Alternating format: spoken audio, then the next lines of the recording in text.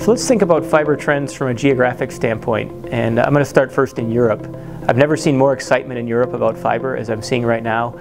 We've got regulators that are talking about uh, delivering uh, fiber to the home, uh, connecting all of Europe or, or, practically all of Europe with, uh, with fiber and the broadband that, uh, connections that it can bring. You can think about uh, Africa where the original networks in Africa were really mostly wireless networks and a lot of them were both wireless in terms of backhaul and in terms of wireless in the last mile.